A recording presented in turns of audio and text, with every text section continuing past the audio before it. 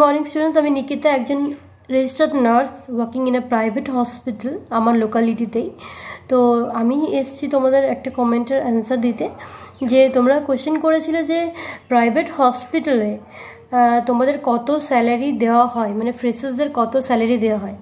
তো লজ্জার কিছু নেই। আমি তোমাদেরকে বলে রাখি প্রাইভেট হসপিটালের স্টার্টিংয়ে তোমাদেরকে একটু কম স্যালারিতেই ডিউটি করতে হবে, কারণ তোমাদের এক্সপিরিয়েন্সটা নিতে হবে তো সেই জন্যই তো প্রাইভেট হসপিটালে তোমাদেরকে প্রথমে টেন কে স্যালারি থেকে স্টার্টিং হয়। তো এটা মেনে নিতেই হবে, আর এটাতেই স্টার্ট করতে হবে, কিছু করার নেই। ফ্রেশার্সরা এরকমই পাবে। তারপর আস্তে আস্তে এক্সপিরিয়েন্স হতে হতে তোমাদের স্যালারি বাড়বে। স্টার্টিংয়ে টেন কে স্যালারি দিয়েই তোমাদেরকে স্টার্ট করতে হবে। কিছু করার নেই প্রাইভেট হসপিটালে এরকমই দেয়।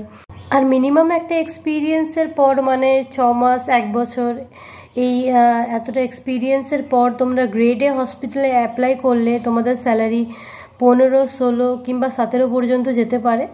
তো তোমাদেরকে এটা বলে রাখি যে গ্রেডে হসপিটালগুলোতে কিন্তু হান্ড্রেড ফিফটি আর হান্ড্রেড বেড হয় না।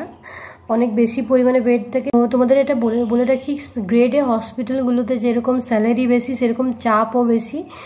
আর গ্রেড বি এবং সি হসপিটালগুলোতে যেরকম স্যালারি কম চাপও কম। তো তোমরা ভেবে চিনতে যেও আর কি। তোমরা যেহেতু আমার ভিডিওতে কমেন্ট করে জানতে চাও, তো সেই জন্য আমি তোমাদেরকে ভালোভাবে, তোমরা যাতে ভালোভাবে কোনো স্টেপ নিতে পারো সেই জন্য আমি তোমাদের কমেন্টের অ্যান্সার দিয়ে দিই। তো এরকমভাবে পাশে থেকো কোনো কিছু জানার থাকলে কিউরিয়াসিটি থাকলে কমেন্ট করো এবং নার্সিং স্টুডেন্টদেরকে বলি থ্যাংক ইউ তোমাদেরই এনগেজমেন্ট আমার ইউটিউব চ্যানেলে বেশি আছে। আমার নার্সিং রিলেটেড ভিডিওগুলোতে বেশি মানে বেশি রেসপন্স তোমরা দাও আর কি। তো এইভাবে পাশে থেকো। থ্যাংক ইউ সবাইকে। আর পারলে চ্যানেলটিকে সাবস্ক্রাইব করো।